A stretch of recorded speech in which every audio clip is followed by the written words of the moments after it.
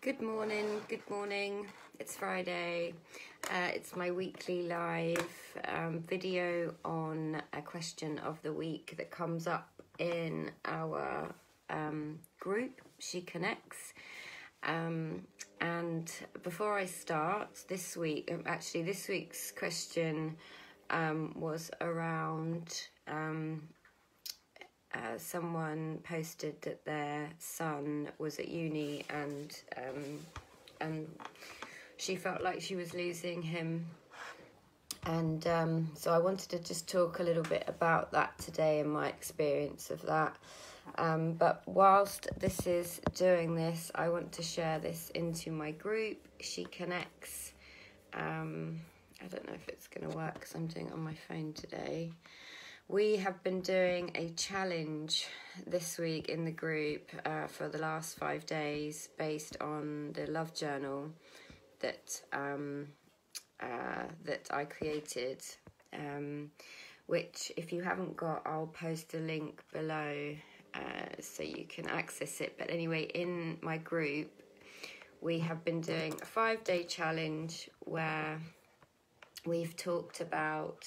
Um, all of the body parts, all of us, and why we love them and why we appreciate our bodies. And it's just been outstanding. We've had so much response. Everyone um, has connected and talked about um, their uh, bodies and, and why they why they are grateful for all of our body parts. Um, so it's it's been wonderful. If you're not in my group, please come in. It's called She Connects. You can probably search it in the um, Facebook search engine, and I'll also link to it.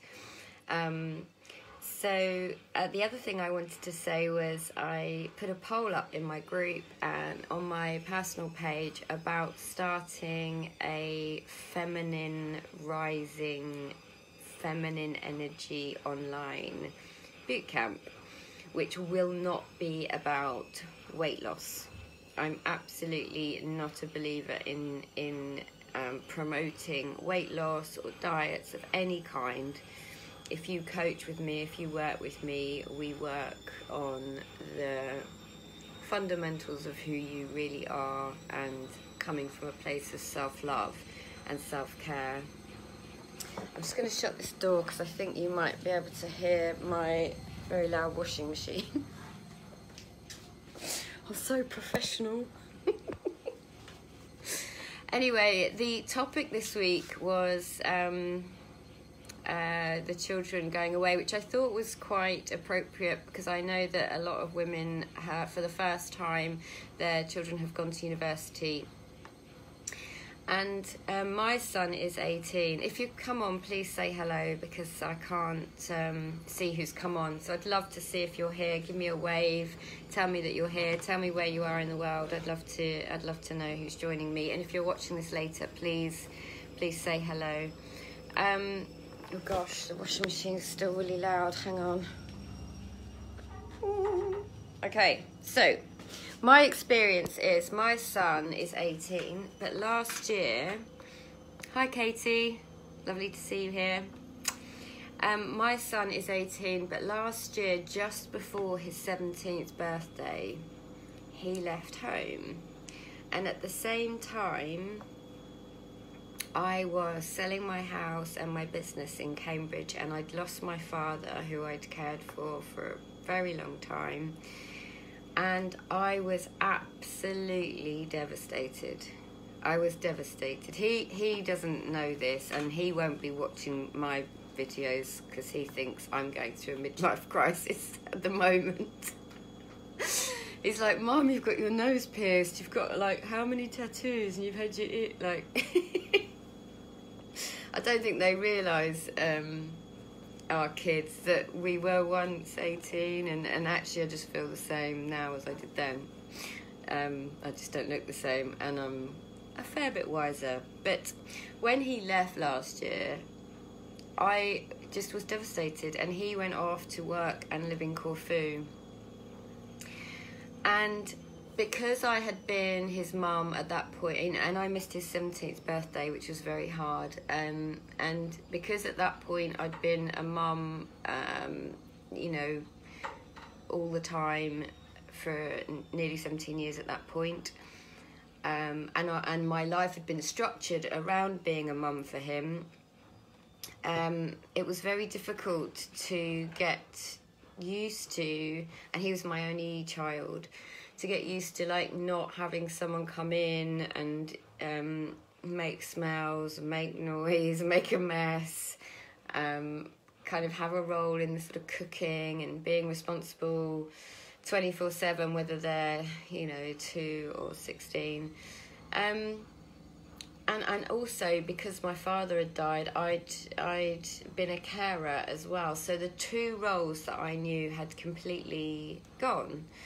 And even though I'll never stop being a mum to Zach, my son, it felt very alien to me, and I felt very lost for a long time. And um, I struggled. I struggled with it. Um, and what I want to say is obviously, like I know a lot of us, uh, a lot of you now, your children have either gone into the army, or they've gone away somewhere, or they've gone to university, or they've left home in some form they might not be contacting you as much as you'd like. Um, I know from my own experience with my son, who did come back for a few months over Christmas and that, and then he went off again. And I was just as devastated the second time he went off. That they are just living their lives as they should, and letting them go with confidence is a gift and the fact that they can go off and have the confidence to go off to wherever they go is just a gift in itself and proves to me that that kind of unconditional love is something that you've given them and they have that courage and that's something I'm extraordinarily proud of, having brought up my son for the most part on my own. Um, that he's gone off, he's flown the nest, he's set up this little business in Corfu. I don't hear from him very often. I sometimes catch what he's up to on Insta stories, which I'm not sure he likes, but I sort of do it anyway. But when I do speak to him, albeit briefly, I just am filled with so much love. And whether he contacts me or not, I know that he's okay. And if he wasn't okay, then I'd hear. And I just want you to know that you're not alone if you are missing your child in whatever, you know, for whatever reason. I know some of um, the people who watch this um, have lost their children for different reasons. Um, and it's a hole, it's a void, it's a loss, it's a grieving process um, that is unavoidable, but it doesn't detract from who you are as a person, and the love that you give them will always be there. And I think they'll come back, and all kids kind of have to go off and explore and break that umbilical cord and do what they've got to do. I know I did. Um, um, and just find themselves. And it's important, it's an important process, but God, no one tells you how painful it is when they go. I just didn't have a clue how painful it was. Um, and I have to say, I really struggled and I didn't feel like I was enough. And, um, you know, I, I missed him I missed him hugely. And I still miss him now, but it's eased and I've kind of created a little life and I don't you know, I don't have to cook at a certain time and I can eat what I want and there are there are benefits to it. And I'm forever grateful that I even had the experience of being his mother. So that's what I wanted to say on on that. Um, it's a difficult topic, and if you've got any other words of wisdom for some of the women who are going through that feeling of acute loss when their children leave home, please post them on the comments below. Um, if you're not in my group, please come into the group because it's a really nice group, some amazing women in there, um, and some women we've got from all over the world. Um, if you're struggling with anything at all, please get in touch with me because I'm a very good coach. I have years and years and years of experience, and I'd love to connect with you. Um, and I am in the process of um, putting together like a trial feminine, um, feminine only boot camp. Hi, Kat. Say hello. Oh, you did. I'm so happy to see you here, Kat. Kat's one of my amazing clients that I work with one to one, and she's just phenomenal woman, absolutely amazing. I'm really uh, grateful uh, that she's working with me. Um, so yeah, I am putting together a female, um, feminine, female rising, feminine rising. well, you're amazing. Um, hi, Melanie. Say hello if you're watching. Um, because I really believe that that I could create something that isn't based around what most people sell, which is you have to change your body and you have to shrink to be accepted, um, or love yourself. And I think it's the other way round. Thank you, Kat. Um, I think you we should start from a place of self love and I'd like to sort of do some work around the chakras and healing that. And I'm thinking of doing some sort of yoga and, and exercise so you sweat anyway, but it's a bit more gentle and a bit more self love focused. So if anyone can think of a really cool name, I um feminine rising, feminine.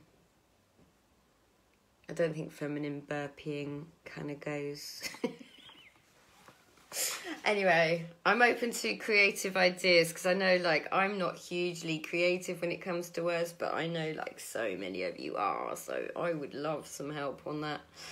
But anyway, if you're not in my group, please come in, have a look at the challenge we've been doing, download my journal, and have a think about self love and appreciate who you are because you're absolutely worth it. You're amazing, you're beautiful, you're unique.